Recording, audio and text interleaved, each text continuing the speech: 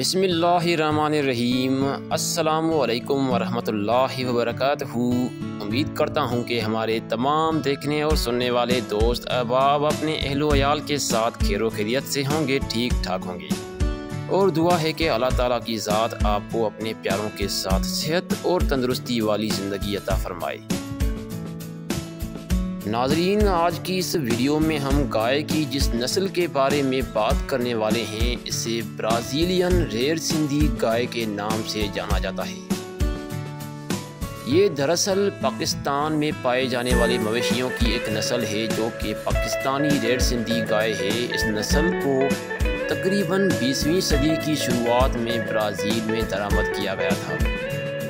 जहाँ पर इस नस्ल को बहुत ज़्यादा इम्प्रूव किया गया था, इस नस्ल को और भी ज़्यादा बेहतर बनाया गया था।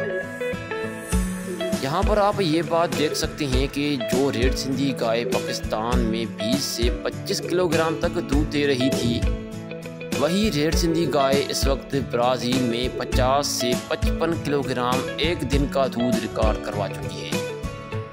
क्योंकि ब्राज़ील में नस्लों के ऊपर बहुत अच्छे तरीके से काम किया जाता है, नस्लों को इम्प्रूव किया जाता है। और इसी वजह से आज ब्राज़ील में रेड सिंधी नस्ल की गायें अच्छी तादाद में मौजूद हैं। और आज ब्राज़ील इस गाय को दुनिया भर में एक्सपोर्ट कर रहा है और इस नस्ल से बहुत ज़्यादा फ़ायदा उठा रहा है। और ये वीडियो बनाने का मकसद भी सिर्फ़ यही है कि हमें भी अपनी नस्लों के ऊपर ध्यान देने की ज़रूरत है। ताकि हम बाहर से नस्लें इंपोर्ट करने के बजाय अपनी नस्लों को बाहर एक्सपोर्ट करें और फ़ायदा उठाएँ। तो उम्मीद है कि आपको हमारी आज की ये वीडियो बहुत ज़्यादा पसंद आई होगी। तो इसीलिए वीडियो पसंद आई हो तो वीडियो को लाइक करें और दोस्तों के साथ शेयर करें और चैनल को सब्सक्राइब करें।